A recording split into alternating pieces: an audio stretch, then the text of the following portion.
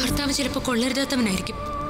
ഭാര്യ അയാളെ കുറ്റപ്പെടുത്തിയെന്നും ഇരിക്കും വഴക്കിട്ടെന്നും ഇരിക്കും പക്ഷെ ഒരു ഭാര്യയ്ക്ക് തന്റെ കഴുത്തിൽ താലി കെട്ടിയ പുരുഷനെ ഒരിക്കലും വെറുക്കാനാവില്ല സർ. തെറ്റിദ്ധരിച്ച് നീ മുതലെടുക്കാൻ ശ്രമിച്ച അത് മനസ്സിലാക്കാനുള്ള കോമൺ സെൻസ് പൗർണമിക്കുണ്ട്. നിനക്ക് അവളെ നല്ല തല്ല് കിട്ടും. ഇത് ഞാൻ എപ്പോഴും പറയുന്ന പോലെ അല്ല ആനന്ദ്. നീ ഓർത്തോ. ബേട്ടി നീ നമ്പീശിനെ എന്ത് വേണമെങ്കിലും പറഞ്ഞു. അയാൾ ചെയ്തത് ചതി തന്നെയാ. പക്ഷേ ഈ കാര്യത്തിൽ ആനിക്കും അവളുടെ അപ്പനും ഒരു പങ്കും ഇല്ലെന്ന് പറഞ്ഞാ ഞാനത് വിശ്വസിക്കത്തില്ല.